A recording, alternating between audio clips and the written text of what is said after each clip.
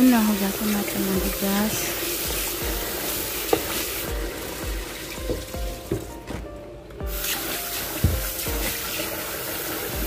Hugasan ng mabuti. Pagkatapos itabi muna natin. Lagyan natin ng mainit na tubig yung kusyari. At itabi rin natin para lumambot yung, yung mga buto. Yan. Pakulo muna tayo ng tubig. Ilagay, na, ilagay natin yung makaroniya. Hintayin muna natin yung lumambot. Bago lumambot yan, tanggalin muna natin yung chickpeas. Separate natin yung tubig at lagyan natin ng mainit na tubig. Konti lang. Yan. Separate muna natin.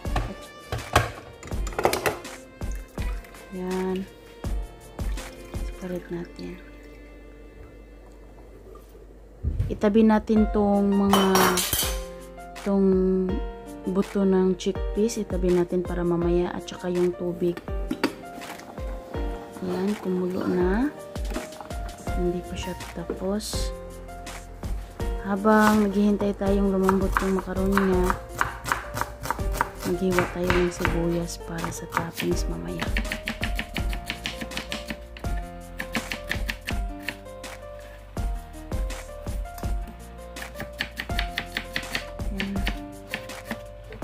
Iprito natin to.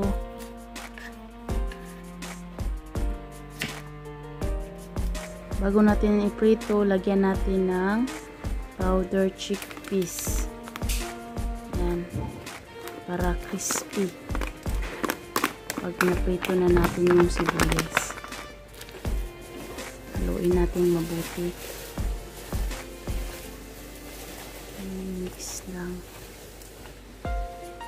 Check natin yung makaronya. Yan, malambot na. Separate natin yung tubig. Tapos itabi natin yung makaron niya. Yan. bago natin itabi lagyan natin ng butter. Mix natin yung butter para mabango tsaka hindi siya magdikit-dikit. Yan haluin natin. Tapos takpan na natin siya itabi din natin para mamaya yan, magprito muna tayo ng lagyan natin ng butter. Yan. Kunting mantika, lagyan natin ng kunting mantika. Yan. Haluin muna natin para mas ano yung butter. Pagkatapos, lagyan natin ng sibuyas. Yan. Dagdagan pa muna natin ng sibuyas. Yan. Haluin natin. Gisa natin to. Dapat yung pulang-pula talaga yung sibuyas. Parang nag-aagaw yung black at saka yung brown. Habang ginigisa muna natin yung sibuyas, magpainit tayo ng mantika para sa sibuyas na to. Yan. Yan, fry natin yung sibuyas. dapat maging golden brown yan para yung crispy niya masarap pag kinain natin yung sibuyas. Yan, tayin natin yan na maging crispy. Yan isa natin tapos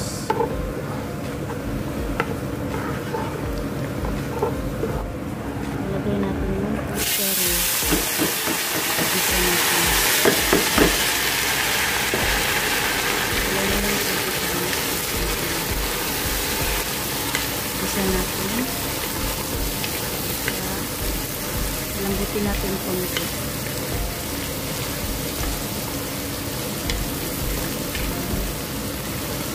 tapos lagyan natin na ingredients magic cubes. Tapos turmeric powder or cornstarch garlic lagyan natin ng garlic powder cinnamon konti.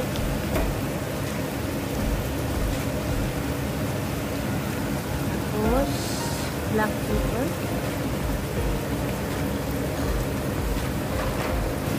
Tapos curry madres.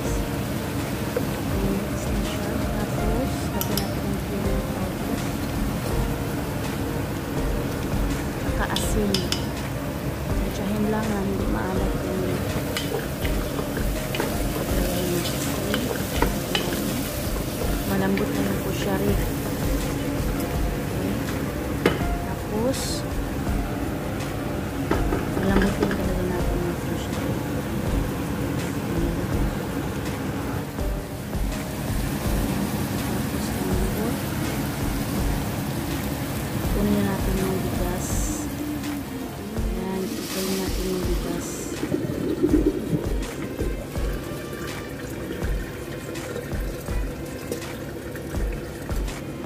natin igisa din natin. Sabayin ko siya.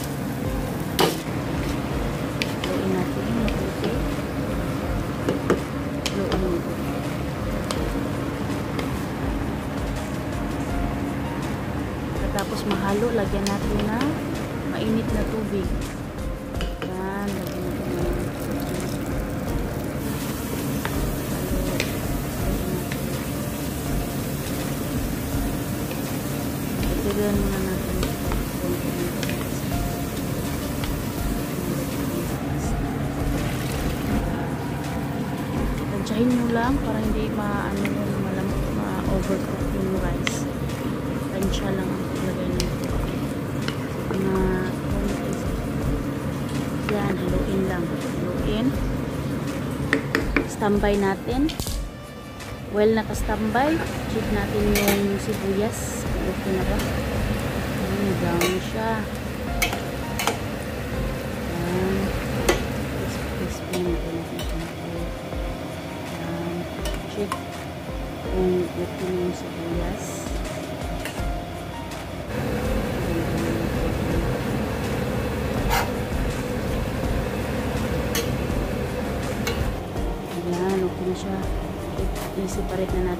Kukunin na natin. Lagay natin sa lagayan. Ayan.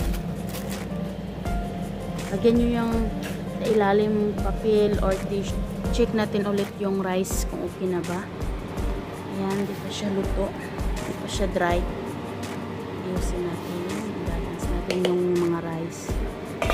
Takpan muna natin ulit. While hinihintay natin yung madry, gawa tayo ng sauce. Sauce niya, yung tubig ng chickpeas, ayan, separate muna natin. Igisa natin yung sibuy, ah, um, ahos. Ahos, isi, igisa natin. Squeeze muna natin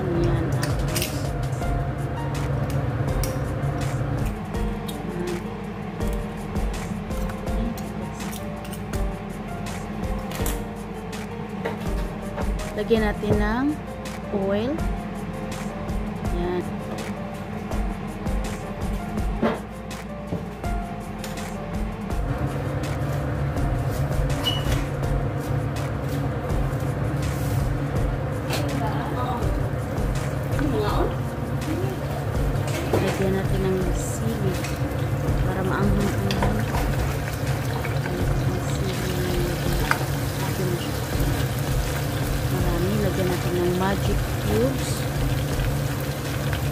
Black pepper, tsaka is- isang buong lemon para maasim-asim. Kasi yung panglasa is maanghang, maasim-asim. Para naghahalo yung maalat at saka lagyan natin ng sugar. Yan. mix natin. Saka ihalo natin yung tubig ng chickpeas na nasa can. Yung pinaghaluan o pinag-separate natin. Yan, hintayin natin kumulo. Check natin yung rice. Ayan.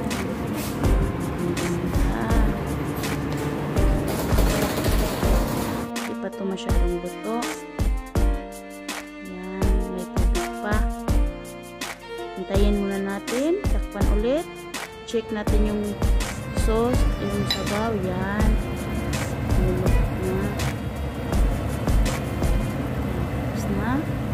Na siyang kumulo. Itabi na natin.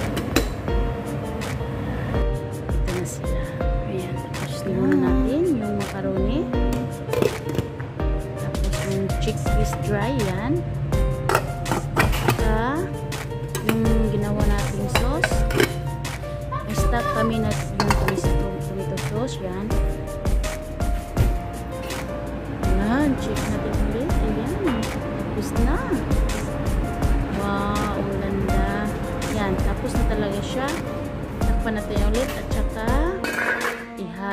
Natin. Tingnan nyo kung paano natin ilagay. Yan, kung ano, ano yung itsura ng ish koshari. Yan. Makaroon niya sa ibaba, tapos yung sibuyas sa itaas. Yan. Diba? Masarap siya tingnan. Masarap din naman siya. Pag tinikman mo. Yan, yung finish. Finish product. Maraming salamat. Please subscribe.